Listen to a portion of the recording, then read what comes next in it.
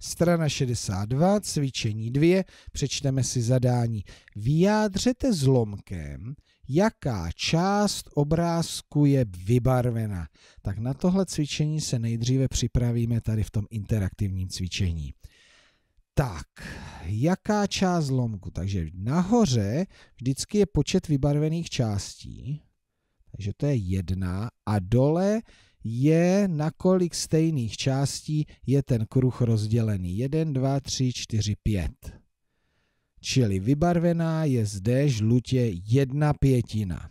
Tady zase jedna část z kolika? 1, 2, 3, 4, 5, 6, 7.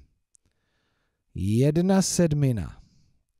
Tady jedna a co? 1, 2, 3, 4, 5, 6, 7, 8, 9, 10. Zde je žlutě vybarvená jedna desetina a tady to je jasné, jedna část ze dvou, jedna polovina.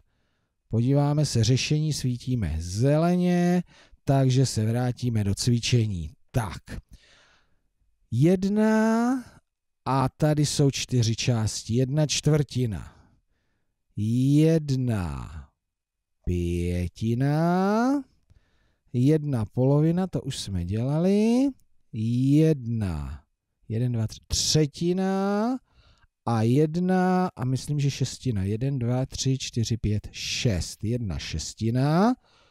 Řešení máme správně a teď se podíváme dál. Pozor, tady už nejsou kruhy, takže jedna část z kolika stejných z osmi. Jedna osmina. Jedna šestina je vybarvená. No a teď už mi to diktujte. Kolik?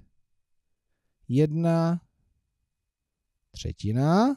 Tady jedna polovina a zde jedna čtvrtina.